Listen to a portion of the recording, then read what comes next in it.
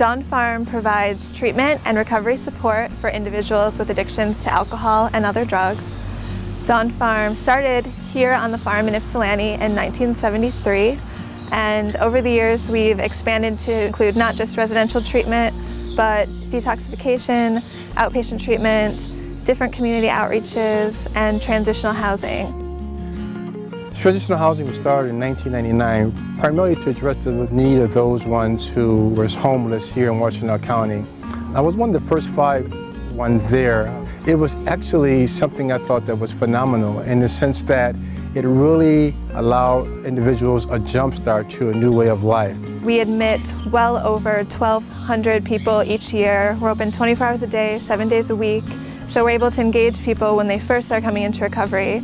And then hopefully we're helping them through their journey into sustained recovery through treatment or transitional housing or whatever their needs are.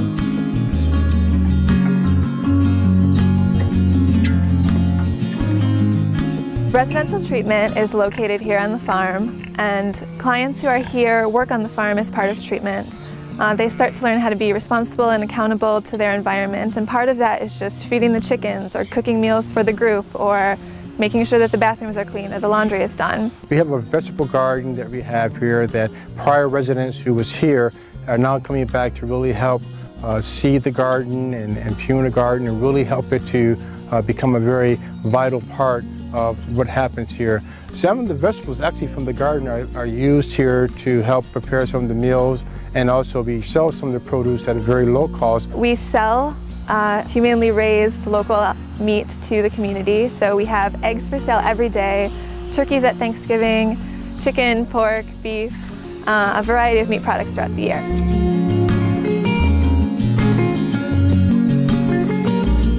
We also have a lot of community involvement. So the recovering community comes every day to support our clients in residential treatment. They come up to our detox location to volunteer. We invite you just to come out and take a look at the farm. We have families that come out all the time in the summer just to pet the pigs or the sheep or what have you. This county is absolutely remarkable when it comes to taking care of the needs of those individuals affected by this terrible disease of alcoholism and drug addiction. They really go out to care about those ones who are homeless. They've been very, very supportive of Dawn Farm as a whole. It's just an honor to be part of this community and especially uh, Washtenaw County and the Ann Arbor Ypsi area.